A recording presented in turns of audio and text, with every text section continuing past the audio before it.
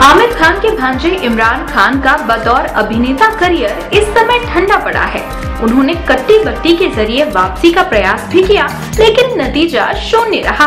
आमिर खान भी उनके करियर में मदद नहीं कर पाए। ये देखते हुए इमरान ने मान लिया है कि बतौर हीरो हो गया है।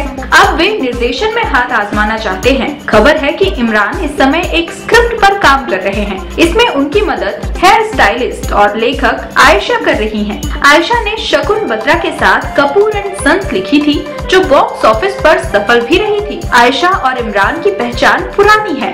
जाने तू या जाने ना, और मेरे ब्रदर की दुल्हन में इमरान के साथ आयशा बतौर हेयर स्टाइलिस्ट के रूप में काम कर चुकी है। सवाल ये है कि इमरान अपने निर्देशन में बनने वाली फ़िल्म में भी अभिनय करेंगे। इमरान अपनी बॉक्स ऑफ़िस वैल्यू जानते हैं, इसीलिए वे कोई खतरा मोल नहीं लेंगे और कैमरे के पीछे ही बने रहेंगे।